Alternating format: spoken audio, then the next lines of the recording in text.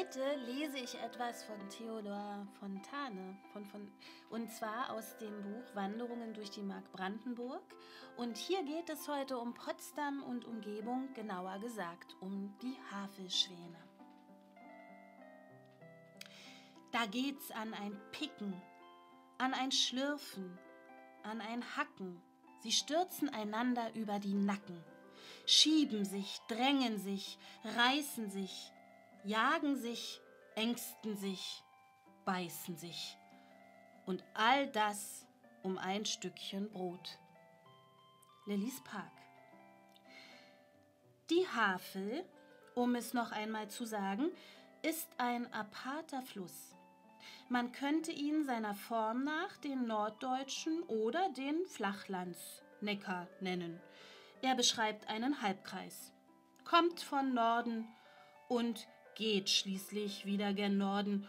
Und wer sich aus Kindertagen jener primitiven Schaukeln entsinnt, die als Strick zwischen zwei Apfelbäumen bestanden, der hat die geschwungene Linie vor sich, in der sich die Havel auf unseren Karten präsentiert. Das Blau ihres Wassers und ihre zahllosen Buchten, sie ist tatsächlich eine Aneinanderreihung von Seen, machen sie in ihrer Art zu einem Unikum. Das Stückchen Erde, das sie umspannt, eben unser Havelland, ist, wie ich in den voraufgehenden Kapiteln gezeigt habe, die Stätte ältester Kultur in diesen Landen. Hier entstanden hart am Ufer des Flusses hin die alten Biestürmer Brandenburg und Havelberg. Und wie die älteste Kultur hier geboren wurde, so auch die neueste. Von Potsdam aus wurde Preußen aufgebaut, von Sanssouci aus durchleuchtet. Die Havel darf sich einreihen in die Zahl deutscher Kulturströme. Aber nicht von ihren Großtaten gedenke ich heute zu erzählen, nur von einer ihrer Zierden, von den Schwänen. Die Schwäne sind auf dem ganzen Mittellauf der Havel zu Hause. Die zahlreichen großen Wasserbecken, die sich hier finden, der Teglersee, der Wannsee, der Schwilow, die Schlänitz, die Wublitz sind ihre Lieblingsplätze. Ihre Gesamtzahl beträgt 2000.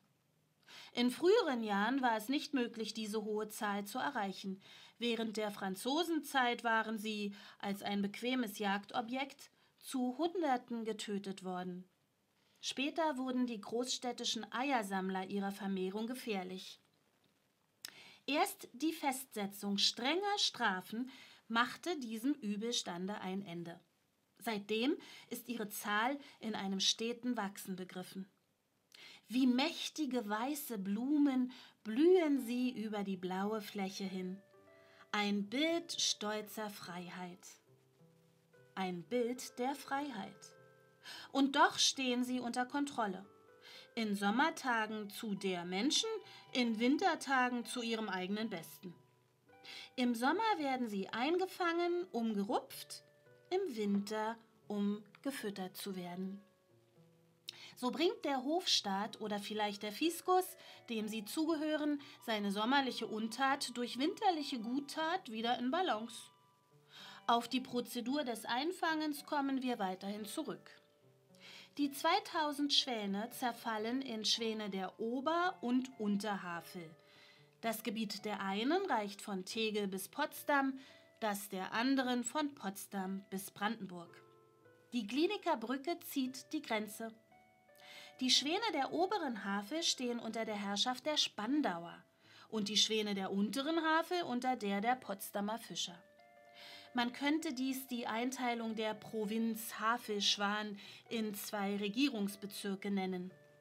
Diese großen Bezirke aber zerfallen wieder in ebenso viele Kreise, als es Haveldörfer gibt, besonders auf der Strecke von Potsdam bis Brandenburg. Die Üzer Fischer beherrschen die Wublitz. Die Markwarter Fischer den Schlenitzsee, die Fischer von Kaput den Schwilow und so weiter. Auf der Unterhavel allein befinden sich gewiss 20 solcher Arrondissements. Alle mit gewissen Rechten und Pflichten ausgerüstet, aber alle den beiden Hauptstädten dienstbar, alle in Abhängigkeit von Potsdam und Spandau. Wir wenden uns nun dem Sommerfang der Schwäne zu. Er erfolgt zweimal und hat den doppelten Zweck, den Jungschwan zu lähmen und den Altschwan zu rupfen. Über die Lähmung ist nicht viel zu sagen. Ein Flügelglied wird weggeschnitten, damit ist es getan. Desto komplizierter ist der Prozess des Rupfens. Er geschieht an zwei verschiedenen Stellen. Die Schwäne der Oberhavel werden auf dem Pichelswerder, die Schwäne der Unterhavel auf dem Depothof bei Potsdam gerupft. Das Verfahren ist an beiden Orten dasselbe. Wir geben es, wie wir es auf dem Depothof sahen. Der Schwanenmeister, Gesamtbeherrscher des, Gesam des ganzen Volkes Xignus zwischen Tege und Brandenburg, gibt die Order. Am 20. Mai, der Tag wechselt, wird gerupft. Nun beginnt das Einfangen. Die Fischer der verschiedenen Haveldörfer machen sich auf, treiben die auf ihrem Revier schwimmenden Schwäne in eine Bucht oder Ecke zusammen, fahren dann mit einem zehn Fuß langen Hakenstock in die Schwanenmassen hinein, legen den Haken, der wie bei dem Schäferstock eine halboffene Öse bildet, geschickt um den Hals des Schwanes, ziehen ihn heran und in ihr Fahrzeug hinein. Dies geschieht mit großer Schnelligkeit so dass binnen ganz kurzer Zeit das Boot mit dicht nebeneinander hockenden Schwänen besetzt ist. Und zwar derart, dass die langen Hälse der Schwäne über die Bootkante fort nach außen blicken. Ein sehr eigentümlicher, grotesker Anblick. In dieser Ausrüstung treffen nun die Boote aus wenigstens 20 Dörfern auf dem Depothof ein und liefern ihre Schwanenfracht in die dort befindlichen Hürden ab, von wo sie nach und nach zur Rupfbank geschleppt werden. Die Rupfbank ist ein langer Tisch, der in einem mächtigen Schuppen steht. An der einen Seite des Tisches entlang, mit scharfem Auge und flinker Hand, sitzen die Rupfweiber, meist Kiezfischerfrauen. Ein Schwanenknecht trägt nun Stück auf Stück die Schwäne herein, reicht sie über den Tisch. Die Frauen packen zu und klemmen den Hals zwischen die Beine ein, während der Knecht den auf dem Tische liegenden Schwan festhält. Nun beginnt das Rupfen mit ebenso viel Vorsicht wie Virtuos Virtuosität. Erst die Federn, dann die Daunen, kein Fleck von Fleisch darf sichtbar werden. Nach Beendigung der Prozedur aber nimmt der Schwanenknecht den Schwan wieder in seinen Arm, trägt ihn zurück und wirft ihn mit Macht in die Havel. Der Schwan taucht nieder und segelt nun mit aller Gewalt quer über den Fluss, um seinen Quälern zu entfliehen. Bald aber friert ihn, und zunächst sonnige Ufer und Inselstellen aufsuchend, eilt er erst den zweiten oder dritten Tag wieder seinen Heimatplätzen im Schwilow oder Schlenitz zu. Einen ganz anderen Zweck, wie schon angedeutet, verfolgt das Einfangen im Winter, wenn die Havel zugeht. Die schönen Tiere würden im Eise umkommen. Sie werden also abermals zusammengetrieben und eingesammelt, um an solche Havelstellen gebracht zu werden, die nie zufrieren oder doch fast nie zufrieren. Der Prozess des Einfangens ist derselbe wie im Sommer, aber nicht der Transport an die eisfreien Stellen, welche letzteren sich glücklicherweise bei Potsdam selbst, fast mitten in der Stadt, befinden. Die Überführung in Booten ist jetzt unmöglich, da schon ganze Partien des Flusses durch Eis geschlossen sind. So treffen sie denn in allerhand Gefährt, in Bauer- und Möbelwagen, selbst in Eisenbahnwaggons in ihrem Potsdamer Winterhafen ein. Sie haben nun wieder sicheres Wasser unter den Füßen. Die Gefahr des Einfrierens ist beseitigt, aber die Gefahr des Verhungerns 2000 Schwäne auf allerkleinstem Terrain würde jetzt umso drohender an sie herantreten, wenn nicht durch Fütterung für sie gesorgt würde. Diese erfolgt in den Wintermonaten täglich zweimal, morgens um 8 Uhr und nachmittags um 3 Uhr, immer an derselben Stelle und zwar in der Nähe des Stadtschlosses. Unmittelbar hinter der Eisenbahnbrücke am Ende des Lustgartens ist eine Stelle, welche wegen des starken Stromes nur selten zufriert. Diese ist Rendezvous. Wir geben die 3 Uhr Fütterung. Schon um Mittag ziehen sich die Schwäne von allen noch offenen Stellen der Havel und aus den Kanälen der Stadt in der Nähe der Eisenbahnbrücke zusammen. Unruhig ziehen sie nicht einzeln, sondern zu Hunderten, neben und hintereinander, am Ufer hin und her. Die Alten und Erfahreneren aber unter dem letzten Bogen der Eisenbahnbrücke hindurch, auf eine Stelle zu, von wo sie mit hoch aufgerecktem Halse über die Uferbrüstung hinweg den langen Wallweg hinuntersehen können, auf dem der Schwanenmeister mit seinem Kornkarren heranfahren muss. Sie kennen ihn auch schon in weitester Entfernung, und kaum taucht seine Mütze zwischen den Bäumen auf, so fährt eine ganz besondere Unruhe in das zahlreiche Rudel. In höchster Anstrengung rudern sie sofort unter der Eisenbahnbrücke durch nach dem Futterplatze und wenn sie ihn dort noch nicht angekommen sehen, wieder zurück zu der Stelle, wo sie eine Annäherung beobachten können. Diese unruhige Wanderung wiederholt sich so lange, bis der Schwanenmeister mit Karre und Gerstensack an der Brücke angekommen ist. Nun entsteht ein wahrer Tumult unter den Tieren. Alles stürzt übereinander und nebeneinander hin und reckt die Hälse, um nur ja keine Bewegung ihres Hüters zu übersehen und den ersten Schaufelwurf nicht zu versäumen. Noch ist es indessen nicht so weit.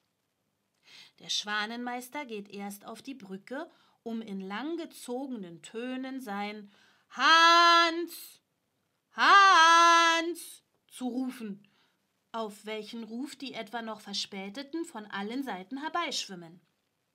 Solange dies Rufen dauert, halten sich die Schwäne in der Nähe der Brücke. Hört es aber auf und wendet der Rufende sich zu dem eigentlichen Fütterungsplatze, so rauscht das ganze Schwanenheer in einer großen, blendend weißen Masse. Drängend wie ein Keil und gewaltsam wie die Räder eines Dampfschiffes im Wasser neben dem am Ufer gehenden Schwanenmeister her. Während der Sack aufgebunden wird, schroten sich einige der gierigsten über die Eisschollen und Ränder am Ufer auf das feste Land, watscheln unbehilflich zum Karren, um womöglich die Ersten zu sein, die etwas erhalten. Ihre Berechnung wird aber jedes Mal getäuscht, denn wenn recht viele aus dem Wasser heraus und andere im Begriff sind, ihnen zu folgen, wird der Gerstenkarren rasch auf die entfernteste Stelle des Futterplatzes geschoben. Kaum sehen die ans Land gekommenen Schwäne, dass ihnen ihre Eile nichts hilft, so stürzen sie sich so rasch wie möglich in das Wasser zurück. Aber es hält schwer, in der dicht gedrängten Masse der schwimmenden Schwäne ein Fleckchen zu finden, wo sie noch Platz hätten. Mit einer unglaublichen Gewaltsamkeit drängen die Hintersten gegen das Ufer. Nun erfolgt der erste Wurf weit ins Wasser hinein, und wo die Gerste das Wasser berühren kann, verschwinden im Nu alle Hälse, und man sieht plötzlich Hunderte von Zuckerhüten auf dem Wasser schwimmen. Unmittelbar am Ufer aber gelangt die Gerste gar nicht ins Wasser, sondern bleibt auf den dicht aneinander gedrängten Rücken der Schwäne liegen. Um sie aufzulesen, verschlingen die langen Hälse sich hin und wieder zu Knoten. so dass es oft den Anschein hat, als könnten sie kaum wieder auseinanderkommen. Soweit jeder Wurf reicht, tritt für einige Augenblicke eine gewisse Ruhe ein. Desto unruhiger und drängender geht es ringsumher zu. Mit Bissen und Flügelschlägen suchen sich die entferntesten Bahn in den dichten Haufen zu brechen. Aber vergebens, denn es kann keines der Tiere Platz machen, wenn es auch wollte. Aber es will auch nicht, sondern beißt und schlägt abwehrend auf seinen Angreifer los. Wieder kommt ein Wurf und wieder beruhigt sich eine Gruppe. Ein dritter, ein vierter, der letzte ist aber noch nicht geschehen, und schon kommen die, welche zuerst gefressen, wieder herbeigerauscht und drängen die Fressenden zu einem dichten Knäuel zusammen. Wild treibende Eisschollen, vom Föhn durcheinander gewälzte Schneemassen, können kein seltsameres Bild geben als diese blendend weißen belebten Körper auf dem dunklen Wasser der Havel rings von Eis und Schnee umgeben, so dass man kaum unterscheiden kann, wo das Eis des Ufers aufhört und der Schwanenknäuel anfängt. Täglich werden auf diese Weise drei Scheffel Gerste verfüttert. Hm, vergleicht man indessen das Volumen all dieser herandrängenden Schwäne mit den anderthalb Scheffeln, die ihnen morgens und ebenso viel nachmittags zugeworfen werden, so begreift man, dass die Tiere beim Weggehen ihres Pflegers noch ziemlich ebenso lange Hälse machen wie bei seinem Kommen. Eine Zeit lang verweilen sie noch, erst wenn die Gewissheit kommt, dass alles Warten nicht mehr fruchtet, schwimmen sie langsam fort. Zurück bleiben nur noch die Kranken, die jetzt einen Versuch machen, eine kümmerliche Nachlese zu halten und die letzten Körnchen zu entdecken. Zu der Havelschönheit tragen die Schwäne ein sehr erhebliches bei. Sie geben dem Strom auf seiner breiten Fläche eine königliche Pracht und eine schönere Einfassung aller dieser Schlösser und Residenzen ist kaum denkbar. In neuerer Zeit hat man diesen Zauber dadurch noch gesteigert, dass man durch Unterlassung der Flügellähmung den Wildschwan wiederhergestellt hat. Man wurde dazu durch verschiedenste Rücksichten bestimmt. Das nächstbestimmende war die größere Schönheit des wilden Schwans. Er ziert die Fläche mehr, die er durchschwimmt, und sein Flug durch die Luft den er wenigstens gelegentlich macht, gewährt einen imposanten Anblick. Was aber mehr als diese Schönheitsrücksicht den Ausschlag gab, war der Wunsch, einen neuen jagdbaren Vogel, also einen neuen Sport zu schaffen. Es werden jetzt von Zeit zu Zeit Wildschwanenjagden abgehalten. Anfangs, wo man diese Jagden in unmittelbarer Nähe Potsdams abhielt, scheiterten sie. Die Tiere, zu den zahmen Schwänen sich haltend, waren zahm und vertraulich wie diese und entzogen sich kaum der Büchse des Schützen. Wenn auch einzelne von ihnen schon dem Blei des Letzteren erlegen waren, das war keine Jagd, das war bloßes Totschießen. Und man stand auf dem Punkt, die Sache wieder aufzugeben.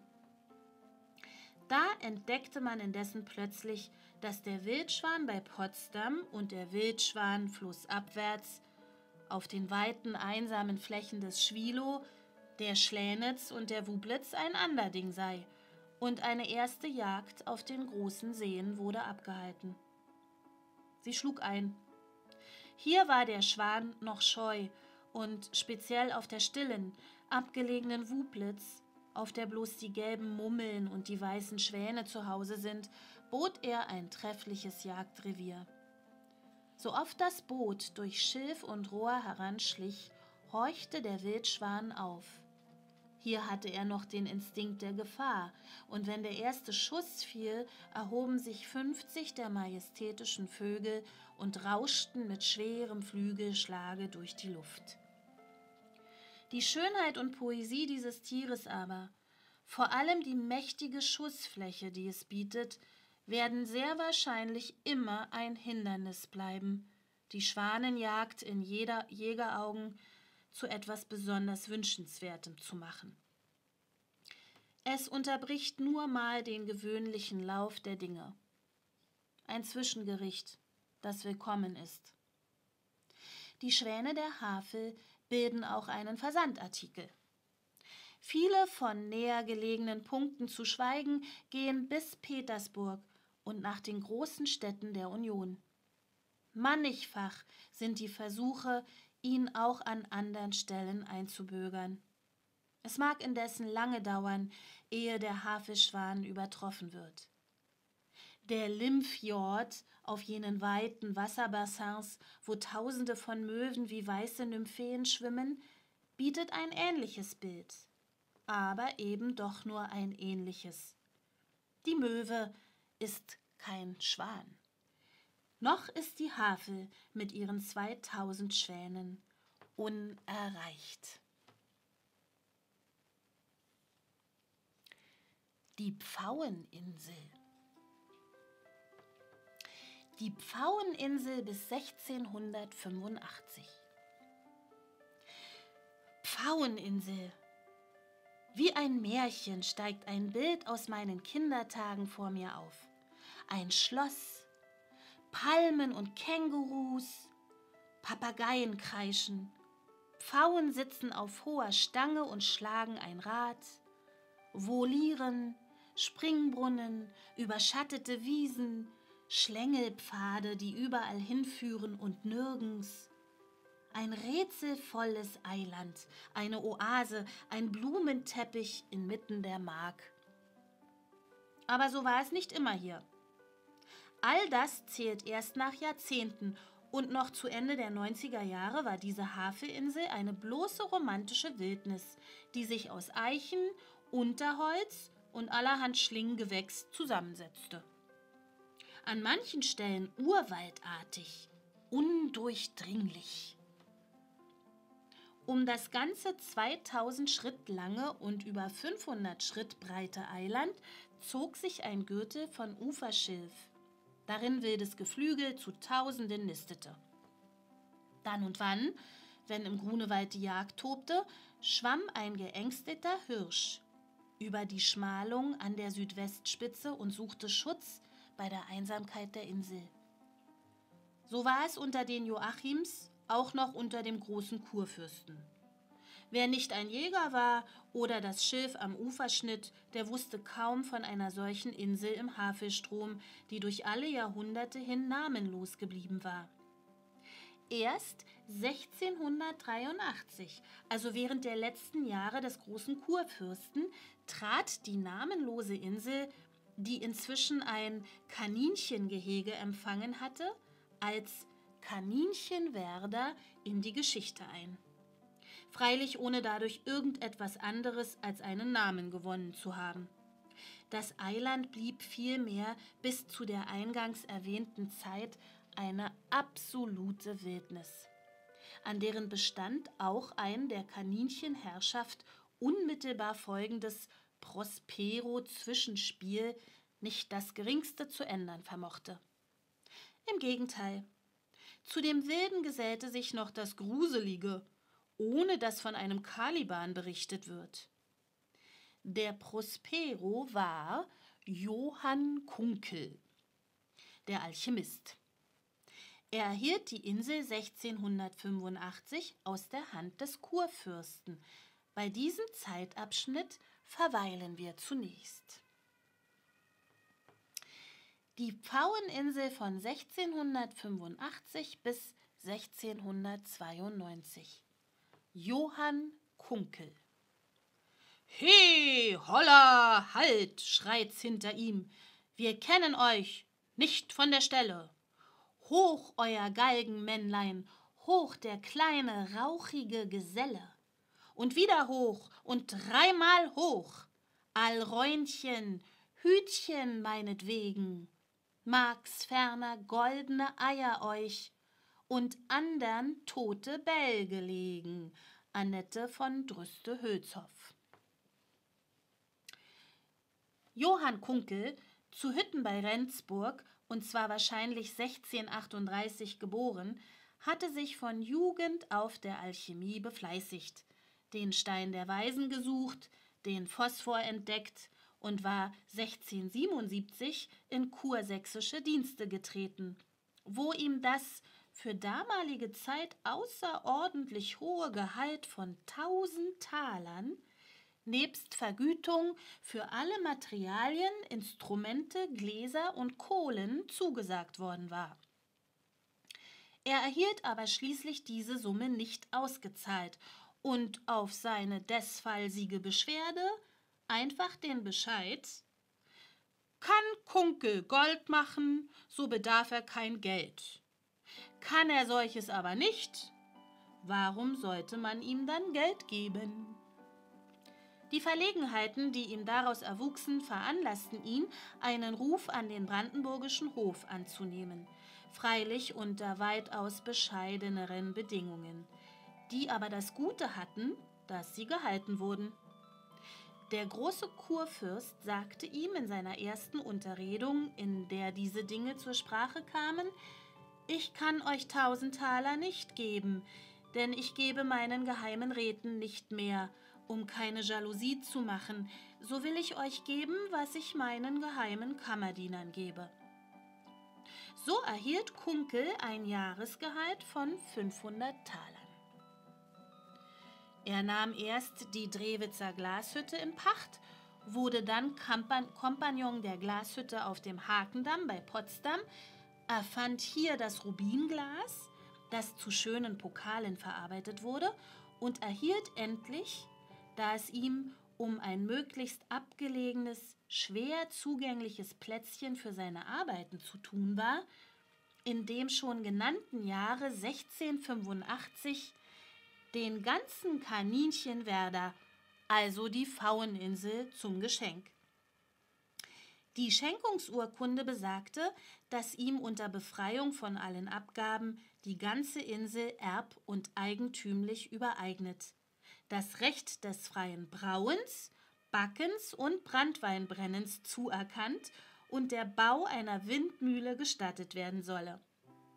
Damit seine Leute nicht gezwungen seien, des Backens und Brauens, des Malens und Schrotens halber die Insel zu verlassen.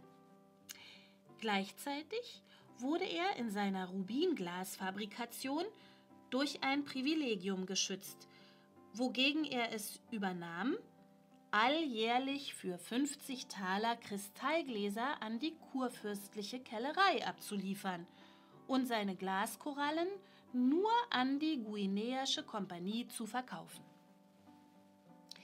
Die Errichtung der Glashütte erfolgte bald darauf an der nordöstlichen Seite der Insel dicht am Ufer. Er erbaute besondere Öfen, um die beste Art der Kondensierung des Feuers zu ermitteln. Kein Fremder durfte die Insel betreten, nur der Kurfürst besuchte ihn wiederholt, um die Anlage des Ganzen sowie den Kunstbetrieb kennenzulernen. Dabei wurde über die Glasfabrikation hinaus sehr viel experimentiert. Worauf diese Bemühungen gerichtet waren, ist nicht mit Sicherheit festzustellen. Dass es sich um Goldmachekunst und um Entdeckung des Steins der Weisen gehandelt habe, ist aber sehr unwahrscheinlich. Nachweisbar verhielt sich Kunkel gegen solche Versuche, wenigstens wenn sie von anderen ausgingen, sehr ablehnend. So entzog ihm denn auch der große Kurfürst nie seine Gnade, wiewohl die Erfolglosigkeit, auch die wissenschaftliche, aller der damals unternommenen Experimente so ziemlich feststeht. Friedrich Wilhelm rechnete, wie Kunkel ihn selbst sagen lässt, die daran gewendeten Summen zu solchen, die er verspielt oder im Feuerwerk verpufft habe. Da er jetzt weniger spiele, so dürfe er das dadurch Gesparte an Forschungen in der Wissenschaft setzen. Mit dem Hinscheiden des Kurfürsten schied aber auch Kunkels Ansehen, wenigstens innerhalb der Mark Brandenburg.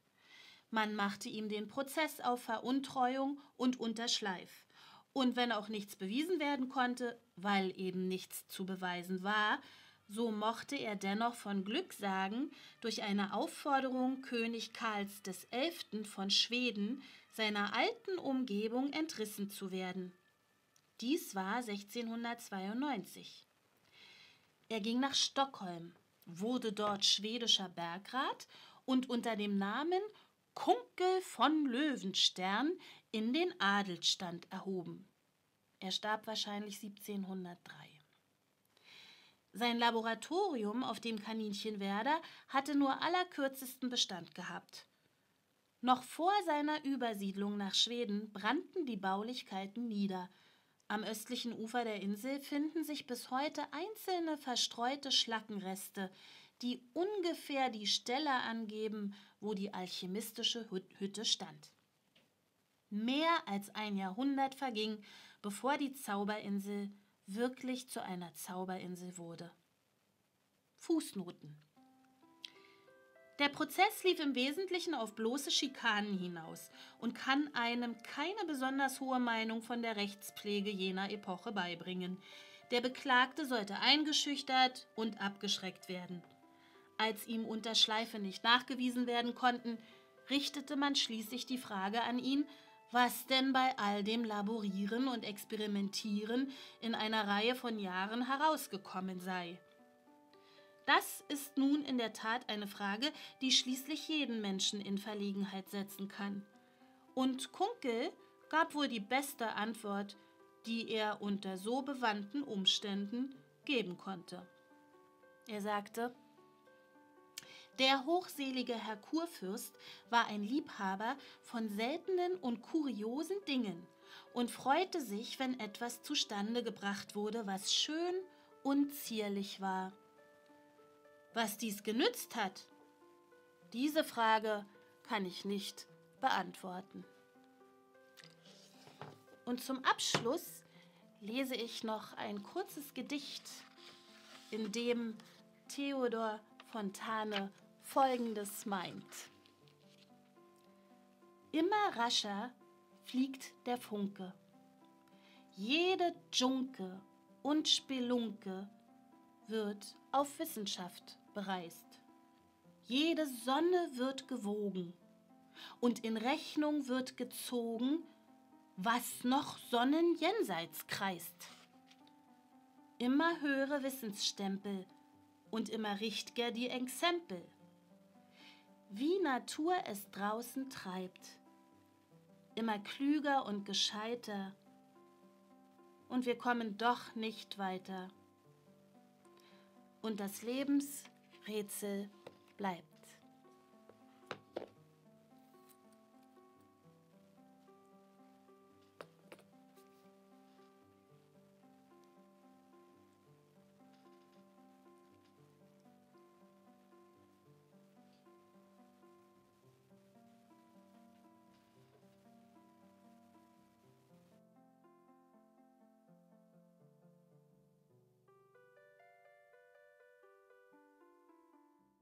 Die Fabel der Blinden Teil 1 Sei kein Harold.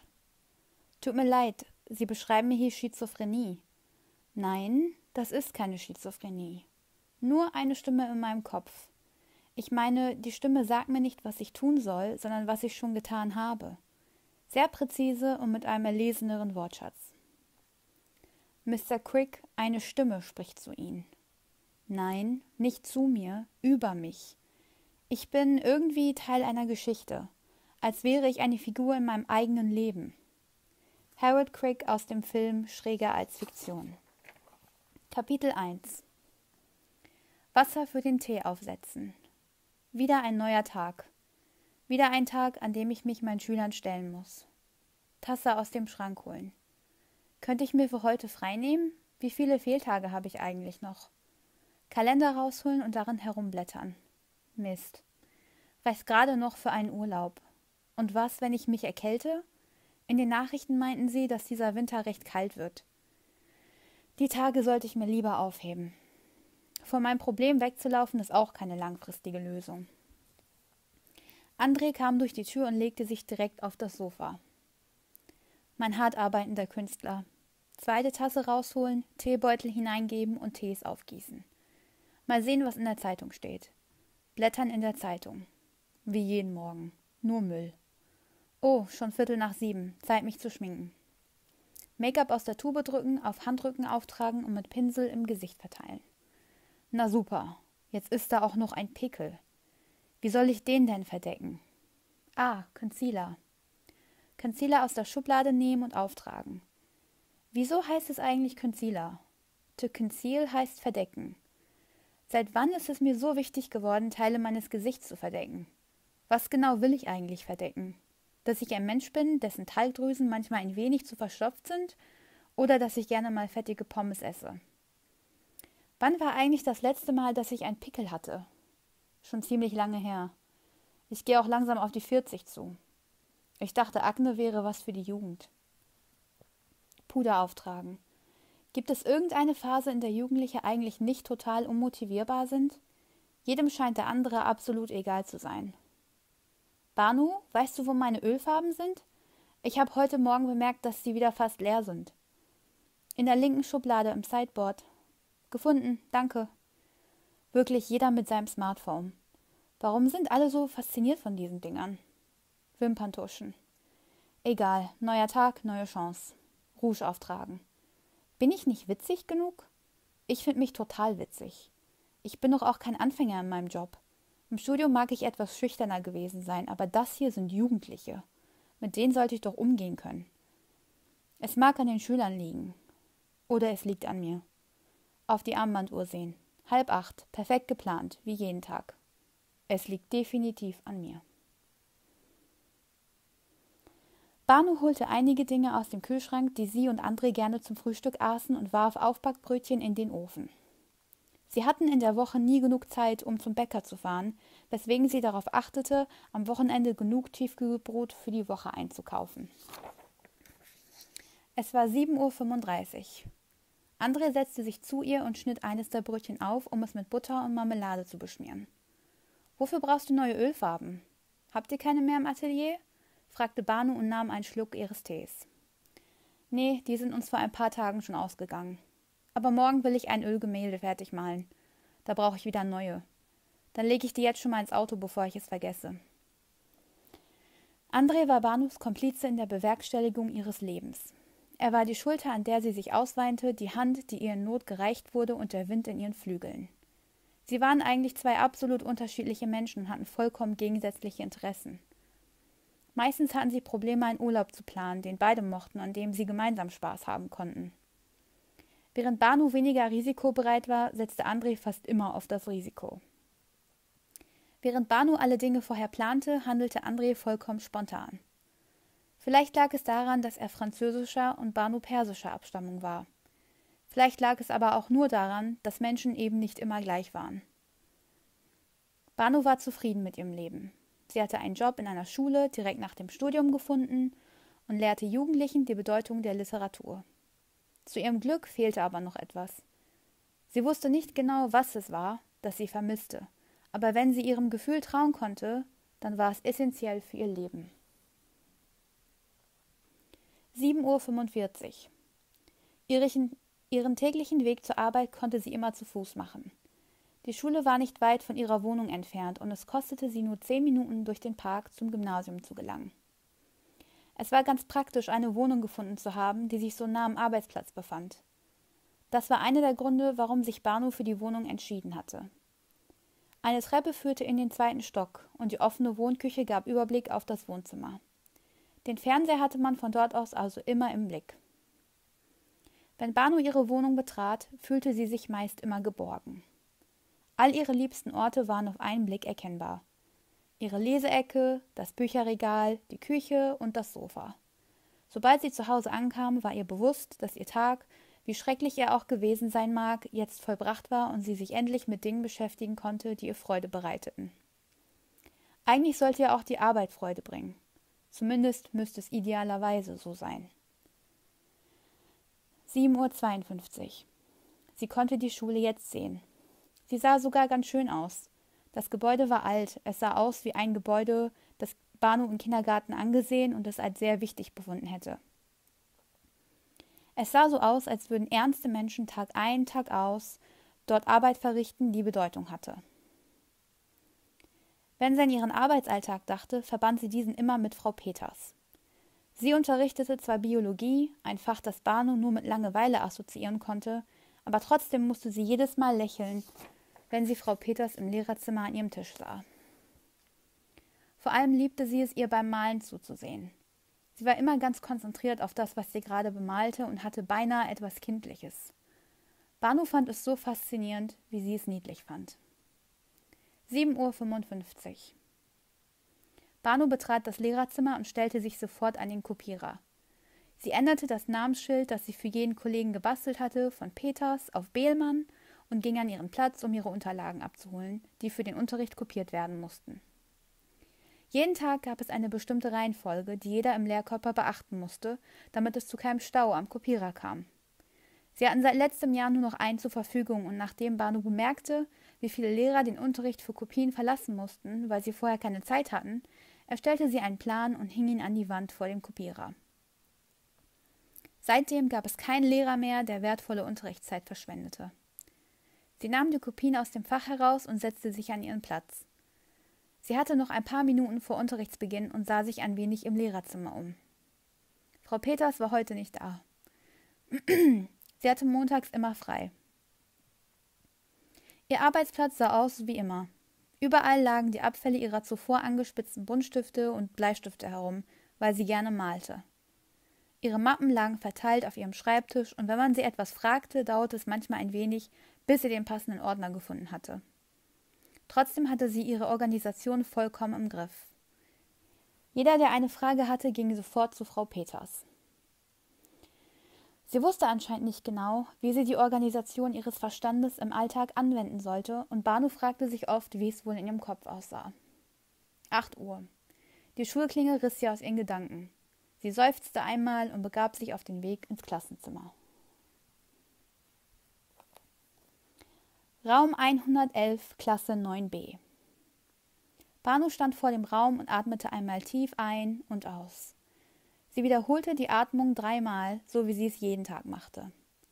Ein und aus, ein und aus, ein und aus, sagte sie vor sich hin und sah auf ihre Armbanduhr.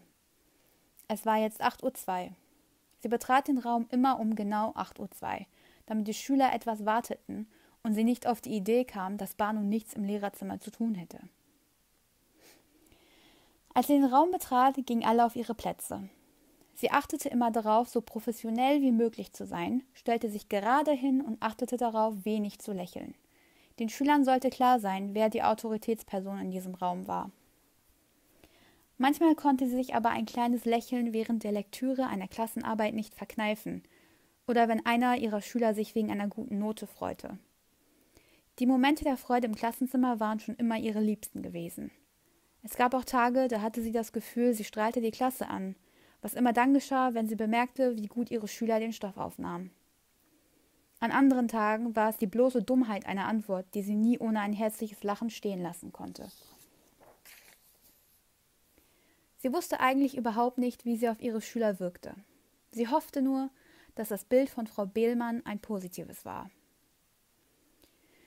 Dieses Halbjahr musste sich Banu eine Lektüre für die Klasse aussuchen. Sie musste zugeben, dass sich die Suche nach dem perfekten Buch für Schüler der neunten Klasse als eine Herausforderung erwiesen hatte, mit der sie nicht gerechnet hätte. Sie wollte etwas Interessantes heraussuchen, musste sich aber auch an die Vorgaben im Lehrplan halten. Sie hatte sich für Anne Franks Tagebuch und Ausschnitte aus Jeder stirbt für sich allein entschieden. Beides waren Klassiker, denen ihre Schüler wahrscheinlich schon einmal über den Weg gelaufen waren. Vielleicht haben einige von Ihnen eines der Bücher bereits gelesen. Anne Franks Tagebuch würde Ihren Schülern höchstwahrscheinlich besser gefallen. Deswegen hatte sie jenes auch als Hauptlektüre ausgesucht. Sie sah sich in der Klasse um. Nur Leana sah sie aufmerksam an, der Rest der Klasse fing bereits an zu tuscheln. Banu stellte sich an ihr Pult und wartete, bis sie die ganze Aufmerksamkeit des Raumes auf sich gezogen hatte. Sie nahm die Bücher von ihrem Tisch und hielt sie nach oben. Dies sind die Bücher, mit denen wir uns dieses Halbjahr beschäftigen. Anne Franks Tagebuch und Jeder stirbt für sich allein. Anne Frank werden wir komplett behandeln und nur Ausschnitte aus jeder Stück für sich allein, die ich euch mitbringe und die wir ausschließlich im Unterricht bearbeiten werden. Für diejenigen, die das Buch trotzdem einmal komplett lesen möchten, schreibe ich die ISBN-Nummer an die Tafel. Buh! rief jemand von hinten. Es war Tim, ein Störenfried. Er machte immer wieder unangebrachte Bemerkungen im Unterricht, vor allem wenn es um Lektüreaufgaben ging. Keiner liest mehr Bücher, die sind doch schon längst ausgestorben. Louis. Der stand immer hinter Tim. Egal, was Tim auch anstellte, Louis war nie weit entfernt. Er war nie derjenige, der für Aufruhr durch schlechtes Benehmen sorgte. Er war sogar ein sehr guter Schüler und las in jeder Pause, wenn er mal wieder alleine saß. Tim schien sich nicht unbedingt für ihn zu interessieren. Trotzdem war Louis immer da, wenn Tim Unterstützung im Zerstören von Barnos Unterricht brauchte. Immer. Zu Beginn ihrer Anstellung an dieser Schule hatte sie sich von Tim verwirren lassen, und da halfen auch ihre bösen Blicke, ihre tadelnden Worte und sogar Drohungen, die Eltern zu rufen, meist nichts. Aber Banu ließ sich nicht mehr ihrem Mut durch dumme Kommentare nehmen. Sie stellte sich noch aufrechter hin. Für Anne Franks Tagebuch bringt ihr morgen bitte sieben Euro mit. Dann bekommt ihr ein Exemplar und könnt anfangen zu lesen. Besprechen werden wir es in drei Wochen. Bis dahin lesen wir die Ausschnitte, die ich euch mitbringe.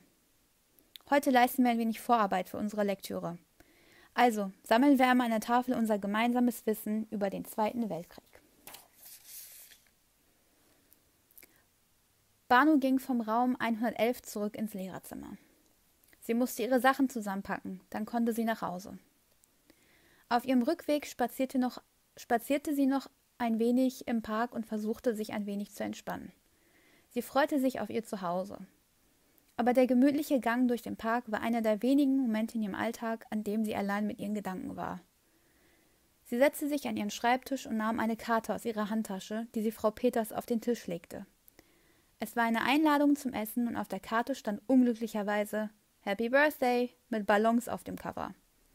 Banu hatte in der Eile vergessen, eine passende Karte zu kaufen und hatte nur noch diese im Supermarkt gefunden. Nur gut, dass Frau Peters einen Sinn für Humor hatte. Sie packte all ihre Sachen zusammen und verließ die Schule. Auf den Treppen vor dem Eingang blieb sie jeden Tag einmal kurz stehen und streckte sich. Dann lief sie durch den Park wieder zurück nach Hause. Sie sollte nicht ahnen, dass der Park nicht nur ein Ort für die Ausleerung ihres Gedankenpapierkorbs war, sondern dass sich ihr Leben von Grund auf verändern sollte. Und beginnen sollte alles genau in diesem Park. Kapitel 2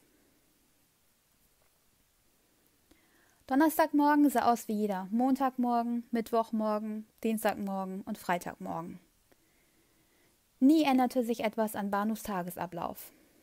Um sieben Uhr musste sie ihre Träumerei gegen die Realität eintauschen, um Viertel nach sieben war es in der Zeit, ihren Durst am Morgen zu löschen, die nächste Viertelstunde wurde damit verbracht, jünger auszusehen, als man war, gefolgt von einem Frühstück, das sie nur ungern so früh am Morgen zu sich nahm.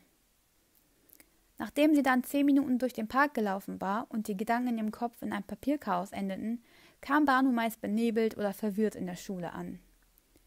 Wenn sie sich so fühlte, stellte sie sich meistens sofort an den Kopierer und versuchte sich auf den Tag, der vor ihr lag, zu konzentrieren. Dies war vor allem auch dann die Zeit, in der sie extrem auf ihre Körpersprache achtete. Sie wollte auf keinen Fall suggerieren, dass sie unsicher war. Heute war das allerdings nicht nötig. Donnerstag stellte nämlich eine Erleichterung für Banu dar. Frau Peters, eine Kollegin, die ihr sehr ans Herz gewachsen war, kam strahlend auf sie zu, als sie das Lehrerzimmer betrat. Sie fasste sich ans Herz und fing an, laut zu lachen. Dann wischte sie sich eine Träne vom Auge und Banu konnte nicht umhin, außer mitzulachen. Happy Birthday! Mann, Frau Behmann, Sie sind mir eine. Banu fasste sich genauso ans Herz, warf ihren Kopf nach hinten und lachte lauthals mit. Die zwei Frauen fassten sich an die Hände und lachten weiter. Normalerweise mochte Banu es nicht, Aufmerksamkeit auf sich zu lenken, aber Frau Peters gute Laune riss sie jedes Mal mit. Sie lachte noch immer, als sie sich an den Kopierer stellte und musste auch noch immer lächeln, als sie bereits vor dem Klassenzimmer stand. Als Banu vor neun Jahren das erste Mal das Schulgebäude betrat, war sie ganz schön nervös.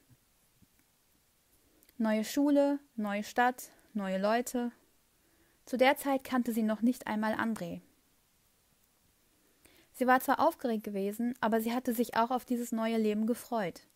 Die Schulbehörde hatte veranlasst, dass sie zum Halbjahr ihre alte Schule verlassen solle, um an einer unterbesetzten Schule anzufangen. Als Beamtin hatte Banu nicht viel Einfluss auf die Entscheidung, wurde aber auch ausgewählt, weil sie nichts an ihrer alten Anstellung hielt. Würde die Schulbehörde jetzt einen erneuten Wechsel in Betracht ziehen, würde ihre Entscheidung womöglich anders ausfallen. An ihrem alten Gymnasium fehlte ihr manchmal die Struktur und die Ordnung. Als sie in die neue Schule kam, versprach sie sich ab sofort Dinge selber in die Hand zu nehmen, wenn es nötig war. Sie mochte es meistens nicht, ihre Stimme in einer großen Gruppe von Menschen anzuheben. In solchen Situationen wäre es ihr manchmal sogar lieber, unsichtbar zu sein. Als sie dann Frau Peters das erste Mal sah, fielen ihr zuerst ihre Haare auf. Merkwürdigerweise war das immer das Erste, was ihr bei anderen Menschen auffiel. Erst die Haare, dann die Augen, dann die Fingernägel. In dieser Reihenfolge. Und Frau Peters hatte wirklich außergewöhnlich langes und seidiges Haar. Es war grau, und wenn es Banu mal wagte, an ihrem Arbeitsplatz Tagträumereien hinzugeben, dann stellte sie sich Frau Peters als pensionierte Rapunzel vor. Als sie schließlich das Klassenzimmer betrat, beachtete sie zunächst niemand. Die, Aufmerksam die Aufmerksamkeit der Klasse galt Tim.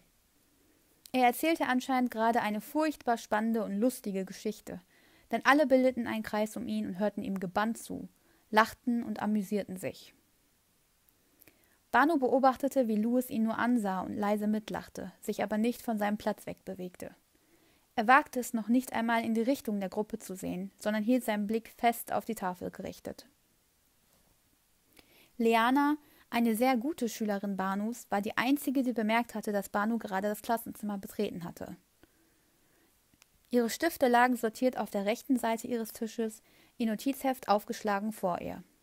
Sie sah Banu an, schien Tim aber und ihre Klassenkameraden gar nicht zu beachten. Sie saß an ihrem Platz mit starrem Blick nur auf Banu gerichtet. Banu erlaubte sich, ihr ein kleines Lächeln zuzuwerfen und holte ihre Wasserflasche heraus, um sich eine kurze Pause vor der Arbeit zu genehmigen. Sie nahm einen Schluck und schlug dann in ihre Hände. Frau Behlmann hat das Klassenzimmer betreten. Alle auf ihre Plätze bitte, rief sie durch den Raum. Sie beobachtete, wie sich die Gruppe enttäuscht auflöste.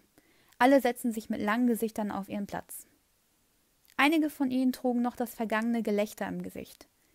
Dies war einer der Momente, in denen sich Banu nicht auch ein Lächeln verkneifen konnte.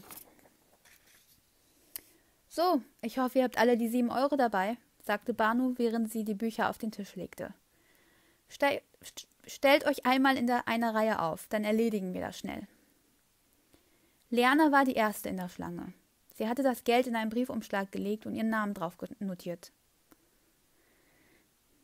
Banu setzte einen Haken auf der Liste hinter ihrem Namen, die sie erstellt hatte, und gab ihr ein Exemplar des Buches. Leana strahlte Banu an und fing in der Sekunde, in der sie das Buch in den Händen hielt, an, es zu lesen. Sie schien niemanden mehr zu beachten, außer Anne Frank, die ihr jetzt von ihrer tragischen Geschichte erzählte. Beim Gehen rempelte sie Louis an, der als Zweiter in der Schlange stand. Der rollte mit den Augen und legte Banu das Geld auf den Tisch. Dann griff er sich eines der Exemplare. Er checkte zunächst die letzte Seite des Buches, sah sie sich einmal kurz an und klappte es dann direkt wieder zu. Anscheinend interessierte ihn nur, wie lang das Buch war. Auch die anderen Schüler der Klasse gaben ihr Geld, einige hatten bereits Kopien des Buches und fragten Banu, ob es in Ordnung war, diese zu benutzen. Andere hatten vergessen, das Geld mitzunehmen und würden es ihr am Montag geben. Der letzte in der Schlange war Tim. Seine feuerroten Haare waren Banu sofort das erste Mal aufgefallen, als sie ihn sah. Er kratzte sich am Kopf und flüsterte so leise, dass Banu sich bücken musste, um ihn verstehen zu können. Die Klasse fing bereits an, unruhig zu werden. Sie nickte nur und reichte Tim eines der Bücher, ohne Geld von ihm angenommen zu haben. Als sich Tim auf seinen Platz setzte, waren seine Wangen so weit errötet, dass sie zur Farbe seiner Haare passten. An Tagen wie diesen, Tagen, an denen sich Banu aus irgendeinem Grund gestresster und angespannter fühlte als sonst, lief sie nicht nur meditativ durch den Park, sondern genoss es auch, dort eine Weile auf einer Bank über die Dinge, die sie stressten, nachzudenken. Heute war es ein Mix der Gefühle. Sie konnte nicht genau sagen, was es war, das ihr durch den Kopf ging. Ihre Gedanken waren vollkommen ungeordnet. Das Papierchaos war zurückgekehrt. Und ungleich ihrem realen Leben wusste sie nicht, wie man diese Unordnung wieder in perfekte, präzise Ordnung bringen konnte. Ihr Gehirn war ein unendlicher Aktenschrank. Jede Akte war beschriftet mit einem kurzen Titel, der ihr sagte, was sich in der Akte befand. Kindheitserinnerung, Urlaubserinnerung, fiktive Erinnerung. Jede Akte bekam einen Titel. Einige waren dicker, die anderen dünner. Manchmal gab es Seiten in den Akten, die Banu nur noch beschwerlich entziffern konnte. Einige Seiten waren mit einem großen roten Kreuz versehen, das sich über die gesamte Seite erstreckte. Banu sah sich diese Seiten instinktiv nicht mehr an, obwohl die Schrift kristallklar lesbar war. Sie versuchte, die Aktenkammer in ihrem Kopf zu verlassen und nur den Park und ihre Umgebung zu beachten. Der Park war zwar sehr schön, viel Grün umgab ihn, allerdings sah er ein wenig abgenutzt aus.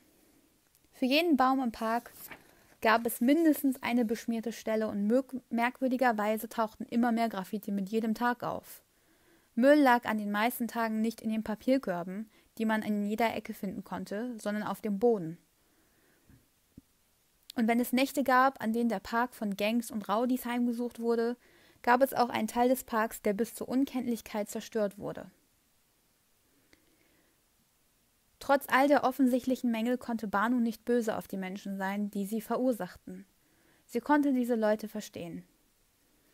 Die meisten von ihnen wurden von der Gesellschaft, der Regierung oder ihren Familien im Stich gelassen und brauchten ein Ventil, um ihre Wut auszulassen. Und wenn das Ventil hin und wieder dieser Park war, war das in Ordnung, solange niemand verletzt wurde. Banu sah auf ihre Uhr. 15.30 Uhr. Es war Zeit, nach Hause zu gehen. Als sie sich erhob, bemerkte sie, wie ihr Rock ein wenig Widerstand leistete. Sie fasste sich an den oberen Teil ihres Rocks und bemerkte, dass ein Kaugummi kleben geblieben war. Es war noch feucht und Banu wollte sich gar nicht vorstellen, wie jemand das Kaugummi mit seinem Speichel vollsabberte und es dann irgendwo hinklebte, damit genau das passierte, was ihr gerade widerfahren war. Ich nehme alles zurück. Vielleicht ist es hier doch nicht so schön.